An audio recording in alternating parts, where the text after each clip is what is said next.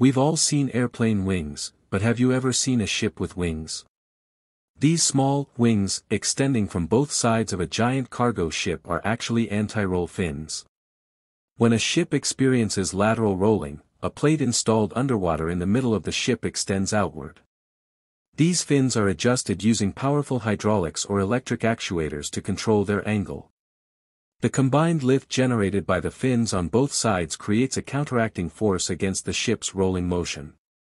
In many cases, this system can reduce the ship's rolling by 70% to 90%. But that's not the only anti-roll method used by ships. Inside the ship, on both sides, there is often a series of connected ballast tanks.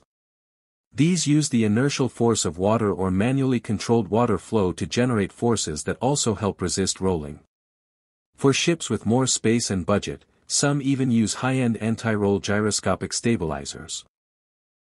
These systems use massive gyroscopes, which can spin thousands of times per minute. By controlling the direction of their momentum, they produce strong stabilizing torque to counteract the ship's roll effectively.